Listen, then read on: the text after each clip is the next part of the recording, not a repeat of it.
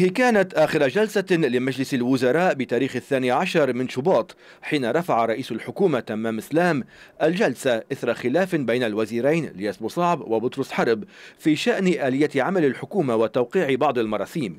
والخلاف كان قد بدأ بمداخلة للوزير رشيد درباس. منذ ذلك التاريخ والاتصالات تتكثف للتوصل إلى مخرج للأزمة الحكومية. تخللتها زيارة الرئيس سعد الحريري لبيروت وعقده لقاءات مع الأطراف كافة.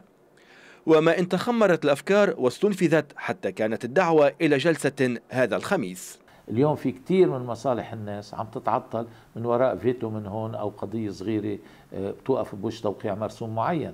هذا ما بيجوز نحن من هون عم نقول إنه هذا التوافق يجب أن يتحقق بالحد الأقصى بما يفيد المصلحة الوطنية. أما إذا واحد عنده رأي مغاير ما معناتها بيفرضه بيقدر شخص يقول أنا بعارض أو أنا بتحفظ لكن هيدا ما بيأخر بإصدار آه، القرار.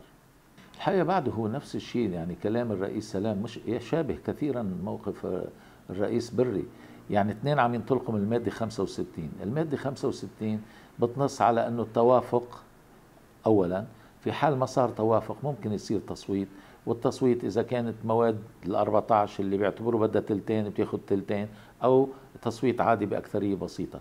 صحيح هذا الشيء بس نحن عم نقول بأبسط كمان من هيك إنه خلي التوافق هو عنوان لهالمرحلة بسبب استثنائية الظروف آه، القائمة حاليا. وحتى نأكد دائما على ضرورة انتخاب رئيس وعلى إظهار انه وحدة هذا الموقف مرتبطة بحدها الأقصى احتراما لهذه الرغبة بوجود رئيس للجمهورية. الجلسة ستستكمل جدول الأعمال السابق على أن يكون القسم الأول منها مخصصا لإعادة الحيوية إلى صيغة التوافق. وأنا حسيت من الأجواء اللي برزت خلال هالكم يوم وبالاتصالات اللي تمت إنه الكل حاسس إنه بالنهاية الحكومة آه، هي شبكة أمان اليوم. ما في عندك اليوم إذا استقالت الحكومة لمين بتروح؟